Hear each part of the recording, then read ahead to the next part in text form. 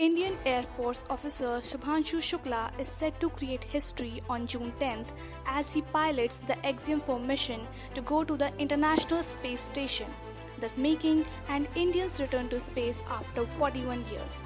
He becomes the second Indian to go to space after Wing Commander Rakesh Sharma, who went in 1984 and also becomes the first ever Indian to visit and conduct research at the International Space Station.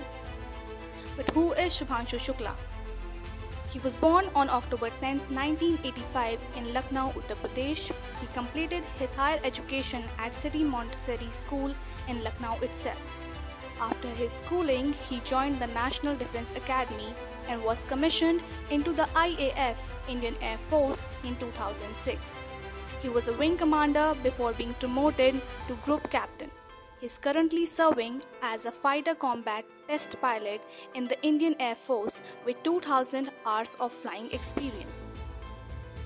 His training to becoming an astronaut began back in 2018 and he spent his training period during the COVID 19 pandemic at the Yuri Gagarin Cosmonaut Training Center in Star City, Moscow, Russia. He is also one of the four astronauts selected for ISRO's human spaceflight mission Gaganyaan. At a press conference, he said that his experience from Axiom 4 mission would be very well utilized for Gaganyaan. While on the mission, he also plans to perform some yoga poses and also hopes to serve Indian food to astronauts.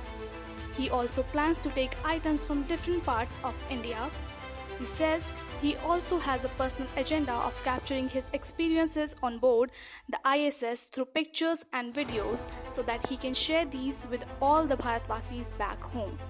This is a journey of 1.4 billion people.